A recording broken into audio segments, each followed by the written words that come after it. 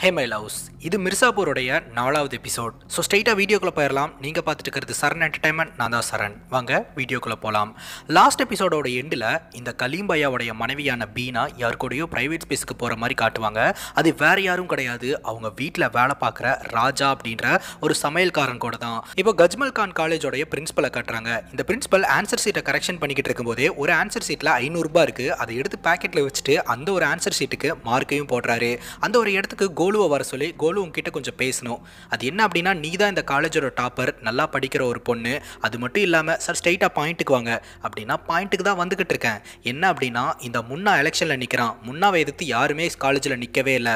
தீபு சிங் மட்டும்தான் நின்னா இப்போ அவனும் வாபஸ் வாங்கிட்டு போயிட்டான். நீ நல்லா படிக்கிற அப்படின்றதுனால உன்னை எதிர்த்து அவனால் எதுவும் பண்ண முடியாது. அதனால் நீ அவனை எதிர்த்து எலெக்ஷனில் நிற்கிறியா அப்படின்னு கேட்க என்ன சார் ஏதோ ஒரு முக்கியமான விஷயத்தை பற்றி பேசுகிறேன் அப்படின்னு சொல்லி எனக்கு சர்ப்ரைஸ் கொடுத்துட்டீங்க அப்படின்னு கேட்கும்போது உனக்கு டைம் இருக்குது நல்லா யோசிச்சு முடிவு பண்ணு அப்படின்னு அனுப்பி வைக்கிறாரு.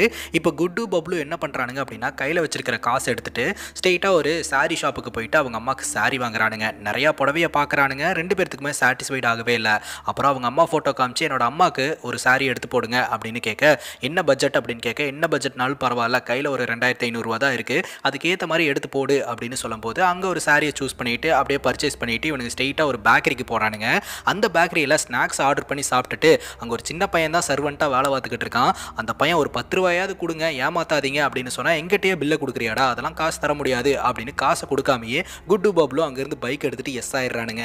இப்போ கலீம்பையாவோட வீட்டை காட்டுறாங்க. கலீம்பையாவுடைய அப்பாவுக்கு கலீம்பையாவோட மனைவி சாப்பிட்றதுக்கு சில பொருட்களை எல்லாம் கொண்டு போய் வைக்கிறாங்க. அப்போ அவருடைய ரூமில் ஒரு கன் இருக்குது பரவாயில்லையே கன்று நல்லா இருக்குது மக்புல் கொண்டு வந்து கொடுத்தானா அப்படின்னு கேட்டுட்டு இருக்கும்போது கலீம்பையாவோட அப்பா சொல்கிறாரு உங்ககிட்ட கொஞ்சம் பேசணும் அப்படின்ட்டு. சொல்லுங்கள் என்னன்னு அப்படின்னு கேட்க இந்த மாதிரி உன்னை கலீம்பையா நல்லா தானே பார்த்துக்கிட்டு இருக்கான் அப்படின்னு கேட்க அவர் என்ன பார்க்கறது? அவர் தான் வேலை வேலைன்னு சுற்றிக்கிட்டே இருக்காரு. என்ன நானே பார்த்துக்கிறேன் ஒன்றும் பிரச்சனை இல்லை. பட் இருந்தாலும் வீட்டில் குழந்தைங்க இருந்தால் நல்லா இருக்கும்னு ஃபீல் பண்ணுறேன் அப்படின்னு கலீம்பையாவோட மனைவி சொல்லிட்டு இருக்காங்க. அந்த இடத்துல கட் பண்ணால் கோலு தன்னோட அக்காவான ஸ்வீட்டி கிட்ட போயிட்டு பிரின்ஸிபல் இந்த மாதிரி என்கிட்ட அப்ரோச் பண்ணுறாரு என்ன பண்ணுறது அப்படின்னு கேட்க உனக்கு எதுக்கு தேவையில்லாத வேலை? உன் படிப்பில் மட்டும் கவனம் செலுத்தலாம்ல? அப்படிங்கும்போது அதனால தான் நானும் எதுவும் பதில் சொல்லவே இல்லை. அப்புறமேல் யோசிச்சு சொல்கிறேன்ட்டு வந்துட்டேன் அப்படின்னு பேசிகிட்டு இருக்கும்போது அந்த இடத்துக்கு முன்னே வரான் சாயந்தரமாக நம்ம வெளியே போகலாமா மெக்டானல்ஸ்க்கு அப்படின்னு கேட்க எத்தனை மணிக்கு? அப்படின்னு ஸ்வீட்டி கேட்குறா இந்த மாதிரிலாம் இவன் சரின்னு சொன்னதே இல்லை. சரி நாலு மணிக்கு போகலாமா அப்படின்னு முன்னா சொல்ல ஓ நாலு மணிக்கா? நாலு மணிக்கு நான் என்னோட பாய் ஃப்ரெண்டு கூட டேட் பண்ண போகிறேன் அதனால நான் உன் கூட வரல. அப்படிங்கும் போது இந்த காதல் பண்ணா பண்ணாலே இதுதான் பொழப்பு அப்படின்னு சொல்லி முன்னா திட்டுறான். இங்கே பாரு முன்னா எனக்கு உன் மேலே இன்ட்ரெஸ்டே கிடையாது. அதை நிறையா முறை சொல்லிட்டேன். திரும்ப திரும்ப என்கிட்ட வந்து அப்ரோச் பண்ணி டைமை வேஸ்ட் பண்ணிகிட்டு இருக்க. எனக்கு என்னைக்கா இருந்தாலும் உன்னை பிடிக்கவே பிடிக்காது அப்படின்னு ஸ்வீட்டி சொல்லிடுறா. அப்போ முன்னா சொல்கிறான் நான் மட்டும் லவ் பண்ணல அப்படின்னா உன்னையும் உன் தங்கச்சி நேரம் அறுத்து போட்டிருப்பேன்.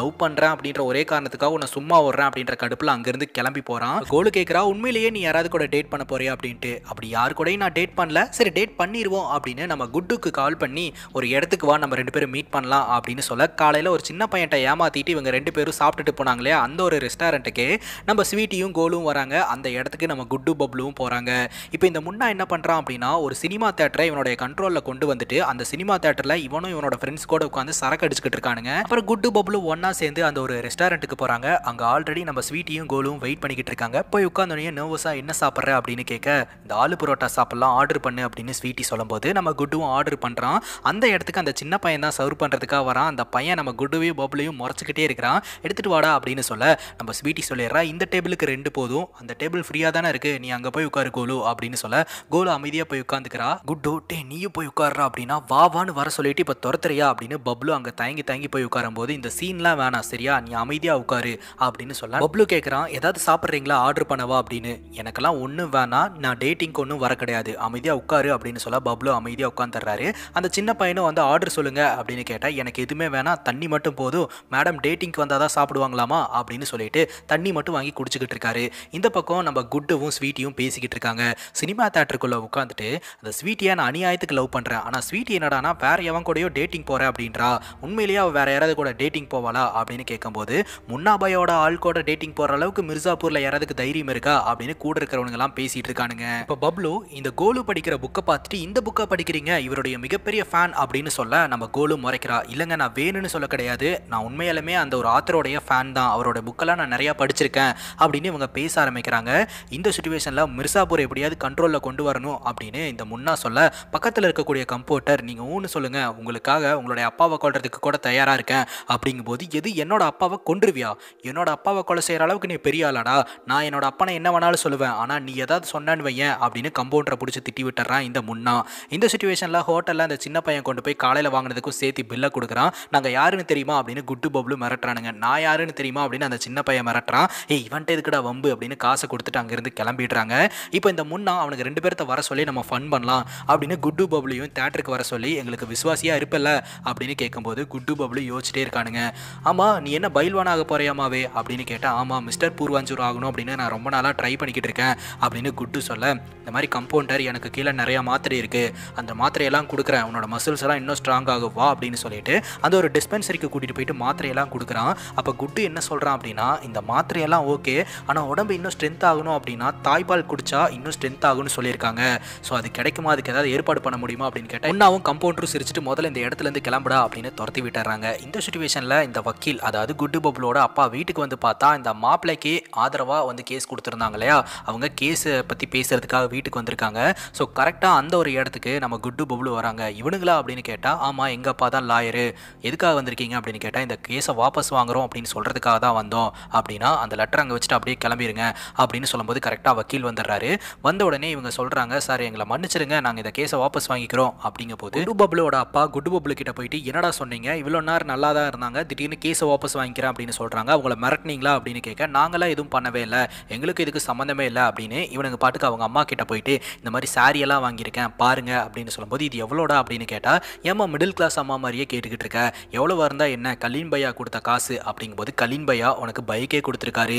நீ இன்னும் அடுத்த லெவலுக்கு வருவ அப்படின்னு குட்டு பபுளோட அம்மா குட்டு பப்ளுக்கு தான் சப்போர்ட் பண்ணுறாங்க நாங்கள் டிம்பிக்கும் சேர்த்து தான் வாங்கிட்டு வந்திருக்கோம். இந்த டிம்பி அப்படின்னு கொடுத்தா டிம்பி அதை வாங்கி பார்த்துட்டு இல்லை நான் என்னோட அப்பா சைடில் நிற்கிறேன் எனக்கு வேணாம் அப்படின்னு சொல்கிறேன் இது என்ன சைடு கீடுன்னு பேசுகிறேன் அப்படின்னா ஆமாம் நீங்கள் வீட்டையே ரெண்டாக்கிட்டீங்களே அப்படின்னு சொல்லிட்டு அவள் கிளம்பிடுறா. இந்த சுச்சுவேஷனில் இந்த முன்னாவும் கம்பவுண்டரும் காரில் வந்துகிட்டு இருக்கும்போது ஏதோ என்னோட அப்பனை போட்டுருவேன்னு சொன்னியே அப்படின்னு கேட்டால் சாரி முன்னா பையா தெரியாமல் சொல்லிட்டேன் அப்படின்னா நேரம் வரும்போது சொல்கிறேன் கரெக்டாக செஞ்சிருவியா? அப்படின்னு கேட்டால் அதெல்லாம் கரெக்டாக செஞ்சிருவேன் அப்படின்னு கம்பவுண்டர் சொல்கிறான் அந்த இடத்துல கட் பண்ணால் நம்ம கோலு கிட்ட ஸ்வீட்டி சொல்லிக்கிட்டு இருக்கா ஃபுல் டைமாக இந்த குட்டு பப்ளு கலீம்பையா கீழே வேலை பார்க்க ஆரம்பிச்சிட்டானுங்க. ஸோ இது எப்படின்னு தெரியல காலேஜுக்கு கூட வரதே கிடையாது அப்படிங்கும்போது சரி வீடு பவர்ஃபுல்லான ஆளுக்கு கீழே வேலை பார்க்குறது நல்ல விஷயம் தானே செக்யூராக தான் இருப்பானுங்க அப்படின்னு கோலுவும் நம்ம ஸ்வீட்டியும் பேசிகிட்டு இருக்காங்க. இந்த சுச்சுவேஷனில் குட்டு பப்ளுவை கலிம்பையா அவருடைய மற்ற ஃபேக்ட்ரிக்கெல்லாம் கூட்டிகிட்டு போயிட்டு எல்லாத்தையும் இன்ட்ரடியூஸ் பண்ணி வைக்கிறாரு. இந்த லாலா பாய் கிட்ட பிஸ்னஸ் பேசிட்டு வர சொல்லி நம்ம முன்னாவை அனுப்பி வச்சிருப்பாரு கலீம்பையா பிஸ்னஸ் பேசுறதுக்காக வந்து பேசும்போது லாலா பாய் சொல்லுவார் பதினஞ்சு பர்சன்டேஜுக்கு கம்மியாக நான் குறைச்சி தரமாட்டேன் அப்படின்ட்டு. ஆனால் முன்னா என்ன பண்ணுவானா கலீம்பையாக்கு கால் பண்ணி இருபத்தஞ்சு பர்சன்டேஜுக்கு கீழே குறைக்க மாட்டேறாரு அப்படின்னு சொல்லிட்டு ஃபோனை வச்சிருவான். கலீம்பையா ஸ்ட்ரெயிட்டாக இந்த லாலாபாய்க்கு கால் பண்ணி என்ன பாய் இந்த மாதிரி பேசுறீங்க? அப்படின்னு கேட்டால் ஆமாம் இருபத்தஞ்சு பர்சன்டேஜ் கீழே நான் குறைக்க மாட்டேன் அப்படின்ட்டு ஃபோனை கட் பண்ணிட்டு முன்னா கிட்ட சரியான திருட்டு பயலாக இருந்துகிட்டு இருக்க. நான் பதினஞ்சு பர்சன்டேஜ் தான் சொன்னா நீ இருபத்தஞ்சு பர்சன்டேஜ்னு வச்சு ஆட்டையை போடலான்னு பார்க்குறியா அப்படின்னு கேட்டுக்கிட்டு இருக்காரு. அந்த இடத்துல கட் பண்ணால் நம்ம கலீம்பையா என்ன பண்ணுறாரு அப்படின்னா நம்ம குட்டு பப்ளுவை கூட்டிகிட்டு போயிட்டு அங்கே இருக்கிற ஃபேக்ட்ரி எல்லாம் சுற்றி காமிச்சிக்கிட்டு இருக்காரு. நீ கன் பிஸ்னஸை டெவலப் பண்ண அப்படின்னா இந்த ஒரு பிஸ்னஸ்லேயும் இன்வால்வ் பண்ணுறேன் அப்படிங்கும்போது நீங்கள் இந்த பிஸ்னஸ்க்கு கூப்பிடுறீங்க அப்படின்னா ஏதோ ஒரு நோக்கத்தோட தான் கூப்பிடுவீங்க. அப்படிங்கும்போது மூலக்காரன் தான் ஆனால் கொஞ்சம் பொறுமையாரு அப்படின்னு மக்பூல் கிட்ட ட்ரைனிங் கொடுக்க சொல்கிறாரு மக்பூல் கேட்குறாரு இதுக்கு முன்னாடி ஏதாவது கொலை செஞ்சுருக்கீங்களா? அப்படின்ட்டு. இதுக்கு முன்னாடி நாங்கள் பண்ணதே இல்லை அப்படின்னு சொல்ல எடுங்க கண்ணை அப்படின்னு சொல்லி இதுக்கு முன்னாடி எபிசோடில் ஒரு ரெண்டு பேர் வந்து கலிம்பாயை கொள்றதுக்கு வந்திருப்பாங்களே அதில் ஒருத்தனை சாவடிச்சிட்டாங்க ஒருத்தனை பேலன்ஸ் வச்சிருப்பாங்க. அவனை சூட் பண்ணி பழகுங்க அப்படின்னு சொல்லி குட்டு கூடவே ஷூட் பண்ண சொல்கிறாரு அதுக்கேற்ற மாதிரியே இவனுக்கு ரெண்டு பேரும் ஷூட் பண்ணி சாவடிக்கிறாங்க. இத்தோட உங்களுடைய வெர்ஜினிட்டி முடிஞ்சிச்சு. ஸோ இனிமேல் நீங்கள் ஆம்பளைங்க அப்படின்ற விஷயத்த மக்பூல் சொல்கிறாரு இப்போ இவனை கொண்டுட்டீங்க கொன்னதுக்கப்புறம் என்ன பண்ணணும் அப்படின்னா இந்த ஒரு டெட் பாடியை கார்பெட்டில் போட்டு அதை வெளியூரில் கொண்டு போய் போட்டுட்டு வரணும். இந்த ஒரு விஷயத்தை நீங்கள் சரியாக பண்ணுறீங்களா அப்படின்றத பார்க்கலாம் அப்படின்னு.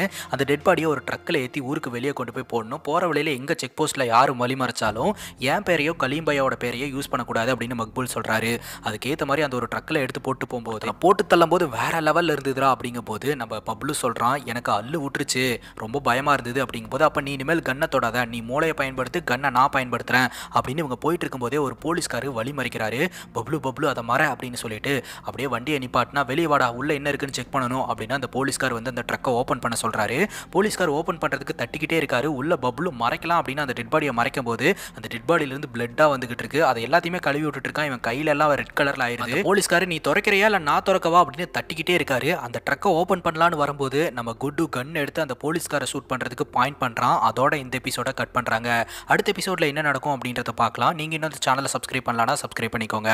Tata bye bye